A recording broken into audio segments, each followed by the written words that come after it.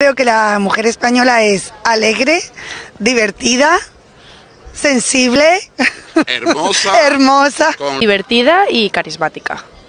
por ser trabajadora, alegre, buena ama de casa al 100%. ratifico en todo lo que ha dicho ella. Lo que pasa es que los políticos nos están dividiendo, y, eh, tanto los hombres, las mujeres, y no sé hasta dónde vamos a llegar.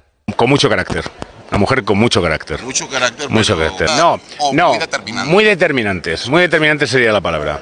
Bueno, la española cuando besa es que besa de verdad, pero porque es hermosa, claro. Me considero una persona muy alegre y positiva porque las personas del norte de España solemos ser más habladoras, más dicharacheras. Creo que soy una persona también muy alegre, muy contenta, aunque también los días acompañan. Hoy que hace un sol, estás súper alegre. Los días que hace un nublado, estás de negativa total. Pero bueno, lo que importa es que hay que tener una actitud positiva en toda la vida, la verdad.